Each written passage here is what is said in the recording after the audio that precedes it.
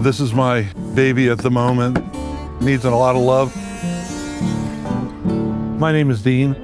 I grew up in the Tidewater area of Virginia, which is very much a shipyard town.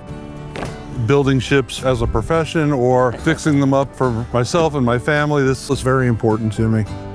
This vessel is 46 feet long, but the project I just finished is 10 times bigger. You don't really realize how big the Crowley Progress is until it's actually in front of you. At uh, 12,000 cubic meters capacity, we're over 400 feet long. The Crowley Progress is an LNG bunker barge. It's a mobile filling station. We bring LNG fuel to the customer vessels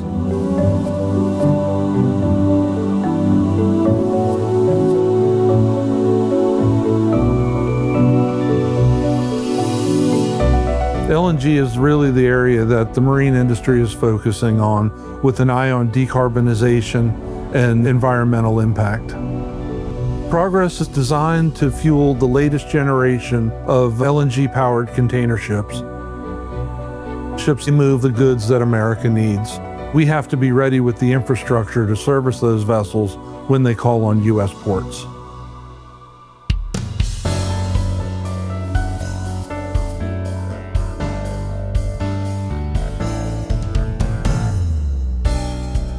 Crowley Progress is the result of a big collaboration. It was our responsibility to make the vessel ready for Shell. Segregation. Progress had a very specific set of specifications. In order to achieve that, we had to develop and innovate a lot of different technologies and bring those together.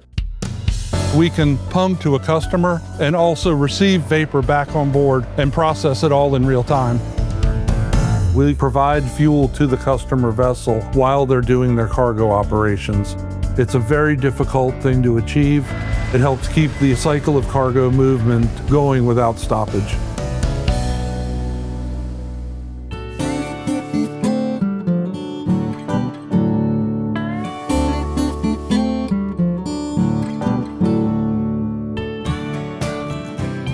The Crowley Progress is extremely busy. It was 100% subscribed before the vessel was even delivered. It takes a very dedicated and talented crew to operate and move the progress around the port. Hey, good afternoon, Captain. What are you doing, dude? Good. When you're going alongside something that big and you're giving them LNG, it puts it into perspective how well of a choreographed dance this really is. I love coming down and seeing progress in action. Every time I walk up the dock, I'm extremely proud of what we produced. The decarbonization of the marine industry is really important, and progress is part of that effort.